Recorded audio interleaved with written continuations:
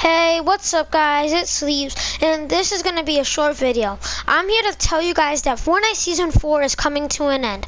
I will be streaming or um or making a video on the last day for the event. Bye, and I hope to see you back where the, um, the event starts.